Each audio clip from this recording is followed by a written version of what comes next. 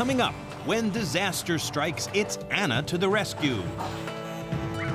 Life in the fast lane with a whippet. And this singer takes it to the streets.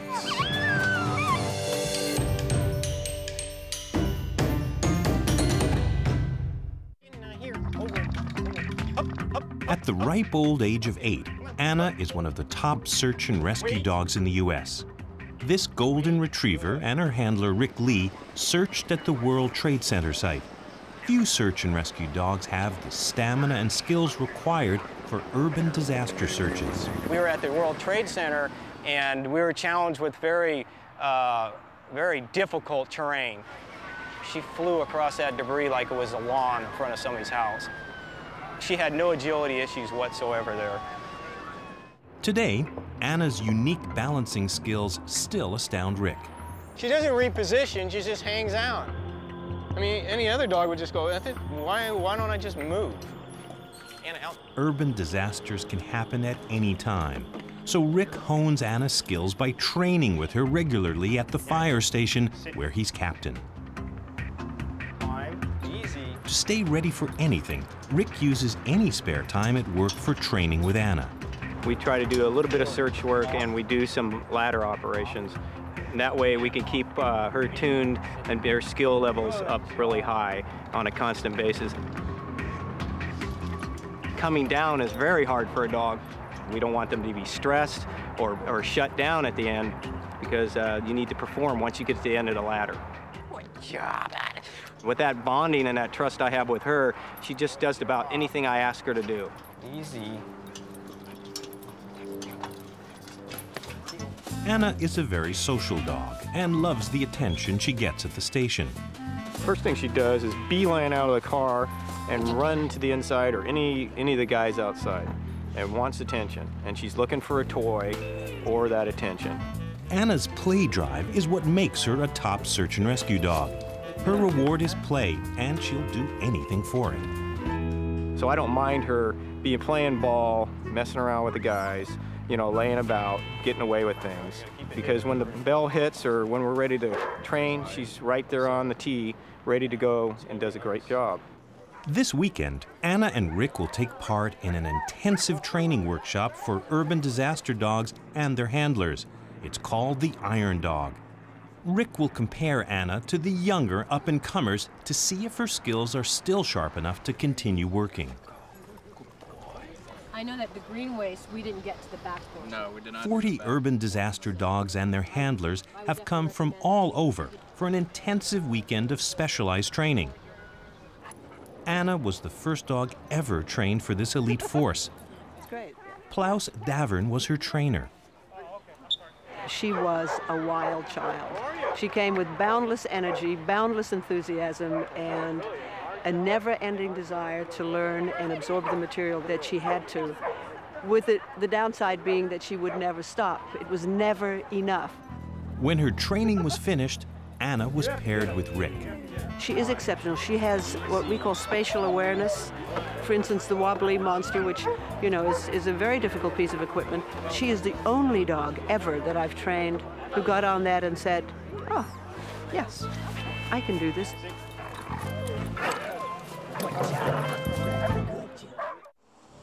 It's dawn at the Iron Dog Competition Disaster Town. This defunct army base is ground zero for the workshop. The site offers a variety of disaster simulation possibilities. The dogs will experience all kinds of terrain and rubble while honing their most important skill, finding a missing person. A volunteer is hiding in the rubble. Ana and the other dogs must find her. The handlers head in with their dogs, followed closely by the trainers. But before going into the rubble, Ana needs some protective gear. The booties shield her paws, but they make walking more challenging. So basically, I put a, a, human shoe on her. Now she only has one pad that she has to manipulate her feet on as she moves about the rubble. The site is chaotic, dark, and dusty. Eight-year-old Ana appears confident. The young recruits are monitored closely. Ana picks up live human scent, which comes from the skin cells people constantly shed. I can move some of this stuff and just have her check it. Check, you know, she can go in it, and I can watch her. She's down. Okay. Good. Shifting rubble makes Ana's job dangerous. Good girl. Good girl. Uh, you have to be really careful on when you send them down a hole like that. You don't know where it goes. It could drop again. Oh, is there anybody in there? Ana's closing in. She looks like she has scent.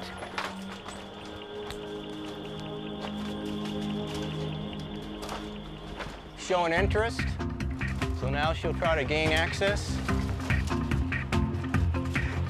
And we got an alert. Ana's bark signals she's found a live person. You gotta get out of there. Okay, you gotta get out. You gotta get out. Whoopee, you gotta get her. Uh, as much as possible, we have the victim engage in the reward. Then we get this bond, and we get that motivation, that drive for them to want to find these people through this type of terrain, whatever it takes to get there. The National Disaster Search Dog Foundation organized the weekend. After the Oklahoma City bombing in 1995, authorities realized there was an acute need for dogs trained in search and rescue at urban disaster sites. Wilma Melville created the foundation.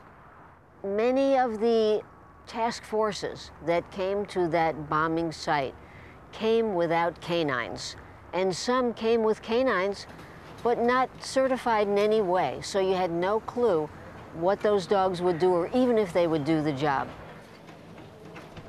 The disaster search canines require a very high skill level. So therefore, they're just like the Top Gun pilots in the Navy, and they're the best of the best. The workshop provides all kinds of terrain for Ana and the other disaster dogs to practice on. This handler sends his young chocolate lab out to search. Unclear on the concept, the pooch decides to come back for a visit. The dogs are trained for different disaster scenarios. Here, a volunteer hides under a pallet and vegetation, simulating the aftermath of a natural disaster like a hurricane. This little guy seems to be following in Ana's footsteps. There's somebody in there, you think so? Well, I'm convinced. Good boy, dog. Good boy. After several days of searching through rubble, these novice iron dogs can't wait to get out of their work boots.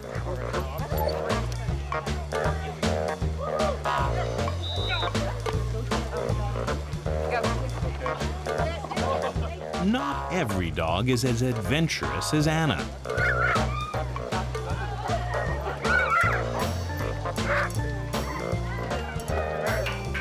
Or as graceful as she is. These rookies could use a lesson from Ana on how it's done. This weekend, she's proven she's as sharp as ever. She can really show a lot of people what dogs are capable of doing. It'd be very hard for me to find another dog like Ana. It's, she's just one of a kind. Good job.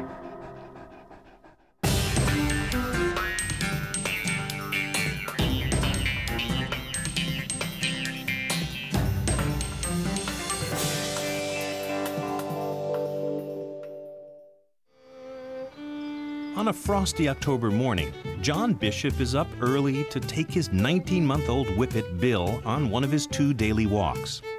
Bill is a racing whippet and needs constant exercise to keep him in top shape. Twice a day from March to October, John trains Bill. He brings him to a favorite quiet place where there are no other dogs to distract him. John thinks Bill was born to run. Bill loves it. He loves running. It's bred into him. Makes them sleep as well at night when they had a good day's running. They uh, contented as well. John's wife Monica helps with the training. Go, Billy. She holds Bill while John shakes a soft, furry cloth similar to the lure Bill chases when he's racing. Good boy. The whippets think they're chasing a rabbit, so the cloth is called a bunny. Come on. Get a bunny. Good boy. He's not a playful dog. They'd rather chase a cat or anything that moves in the garden. Uh, but he's not a, one of these whippets that like playing with the ball. Race training can only begin once whippet pups are a year old. Bill's been training for six months or so. As he runs faster, John increases the distance, building up Bill's endurance. John hopes training will turn Bill into a national champion like his father Wilf, another one of John's whippets. After training, Bill heads home. John always keeps him on a leash. Whippets have got no road sense, no discipline at all. You couldn't walk them on a road or on a street without a lead. Anytime you'd see a cat or a small dog, they'd be chasing it. Racing and a love of cat chasing runs in the family. Bill gets it from his dad, Wilf. Unfortunately, brown spotted Wilf's been sidelined. He injured his leg early in the season. John's keeping Wilf from racing so his injury can heal properly. When he was injured, yes, we were very upset, but I think sometimes fate has a way of coming round and it gave us more time to spend with Bill and train him up to hopefully one day achieve what his father's achieved. John and Monica are devoted to their whippets, all five of them. Whippets are so bony, they'll take over any soft surface. They make excellent pets. They're calm, affectionate, and quiet. They're wicked creatures, really, because you daren't leave a cake or anything on the table. Or my wife left me dinner on the side the other day. Went outside to the, put the washing on the line and come back and my dinner had gone. To relax the night before Bill's race, John and Monica take the dogs to the pub. John Wood, who runs the Buckingham pub, gets a real kick out of it. When uh, John and Monica come in, they bring their whippets in. My wife brings her whippets in. They all get together in the lounge here. They have a bit of a, a, a scallywags around together. An elderly gentleman comes in in the evening, especially to see the whippets, and bless his heart, they know he has got food for them.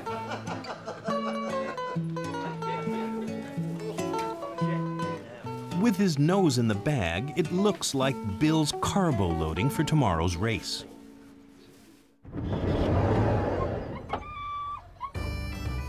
It's race day in Worcester. Bill and John join about 90 racing whippets from all over England. It's a festival of whippets. Whippet racing is an amateur event organized by pet owners. Unlike greyhounds, the dogs aren't sent to kennels and prepared for racing by trainers. There's no money in racing, no organized betting. The whole point is to have fun. The first step is the weigh-in. The Whippets love racing. Meet a lot of wonderful people, A Few bob back. and it's just a wonderful sport. 20 feet. Like racehorses, the dog's legs are protected by bandages. Now Bill's ready, but John's nervous. As long as he behaves himself and follows in his dad's footsteps, uh, we should have a good day. We hope, fingers crossed. Bill watches, eager for his turn to run. There are a few races before his. Okay, can we have the runners, please, for the first three races towards the traps? Race one, Saxon Gold, Kinda Gorgeous, Bonsai Bunny.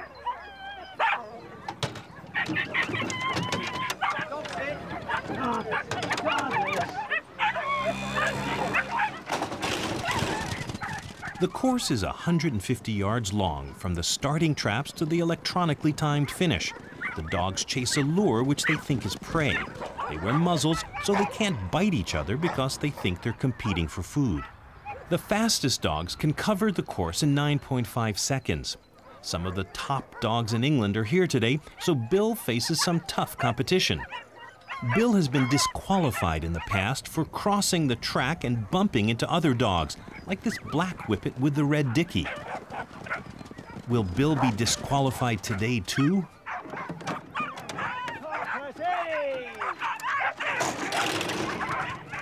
The word whippet comes from the expression whippet, to move quickly.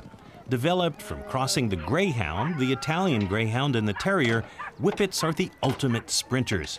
They can go from zero to a speed of 37 miles or 67 kilometers per hour in seconds.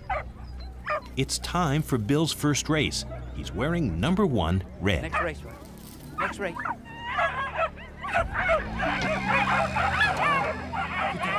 Bill has got to learn to follow the lure. He's got to get his mind fixing of getting through the open gaps. But he's just got to learn to uh, use his brain to get through the other dogs to get in front. This is it, Bill. Look at it here, Dad. Bill seems calm and focused. Good boy. Good boy. Go on then. Good dog. Go up, Billy. And he's off. Red? Yes, he's this one. Oh. Round one is over in mere seconds. Bill's win means he gets to race again. Now, I don't know who's drawn against yet, but there's some class dogs in it. And if he gets second, I love it. I love him really to win it, like, but uh, all depends on the draw. I don't know who I've got yet. Bill's raring to go for his second race. This time he's number three, white. And they're off like the wind.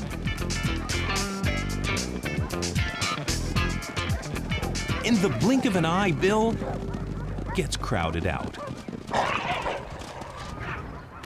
Come on, come on, good lad. There's a good lad.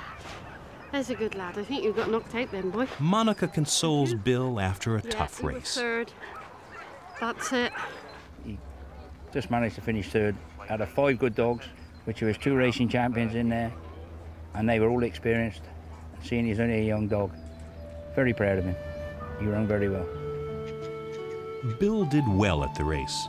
John thinks that with more practice at their quiet spot by the river, he'll be a champ someday.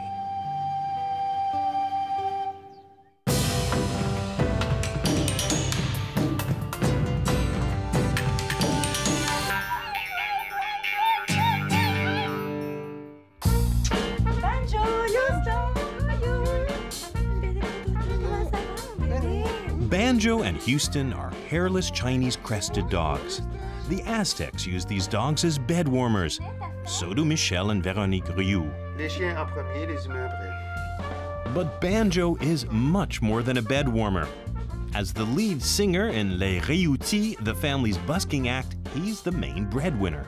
Je voulais avoir un, un chien qui chante. I wanted a singing dog because I do a show, and it was for the highlight of the show. So I thought a singing dog would definitely make a huge impact. And it sure does.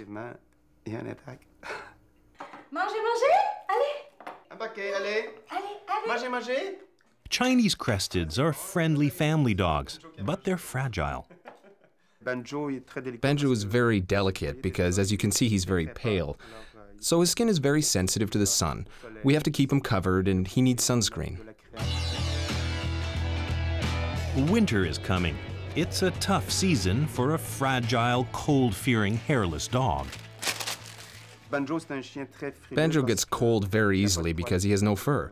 That's why we're planning on going to Florida for the winter. We'd like to sing in Florida. It'll be better down there because up here it'll be 30 below. Today, Banjo, we have to make a lot of money. et puis on y va après, OK? It's time for a quick rehearsal. Son a dit un jour tu vas faire chanteur. Going to Florida requires cash, so the whole family relies on Banjo's talent and success to get them away from winter. Peut-être qu'un jour on verra. And maybe one day we'll see his name in lights Banjo, the king of rock and dog.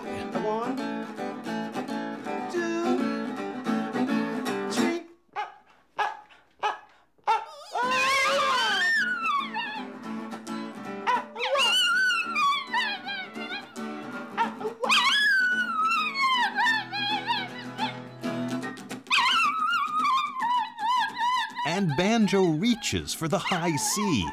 He throws himself into his singing body and soul. Uh, la technique que j'ai développée pour en The technique I developed to get Banjo to sing is my secret. À moins que Banjo soit Unless Banjo wants to reveal his technique. J'en doute fort parce que But I doubt it because Banjo and I are sworn to secrecy. Un banjo? One, two, three. Ah!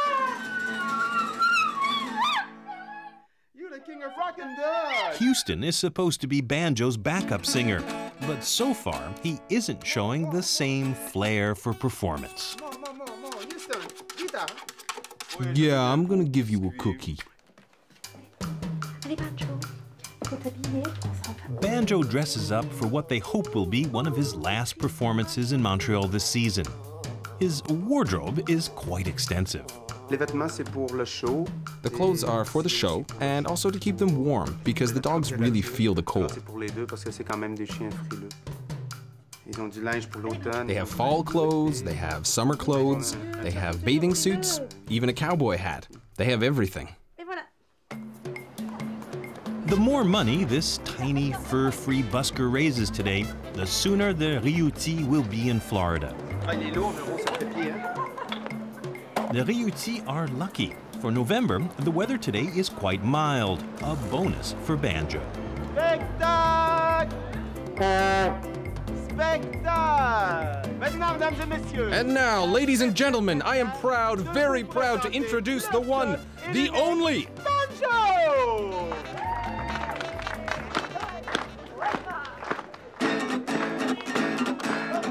Peut-être qu'un jour on verra inscrit dans le ciel Banjo le roi du rock and roll. A one, a two, a one,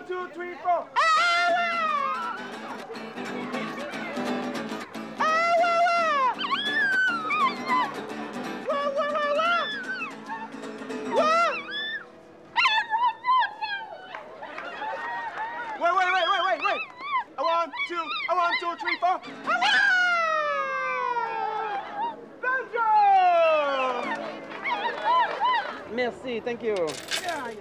Banjo singing is a hit, and the money starts to roll in. Bravo, Banjo, bravo. Banjo's done it again. Flush with cash, the Ryuti can leave for Florida, where all Banjo will need to wear is sunscreen.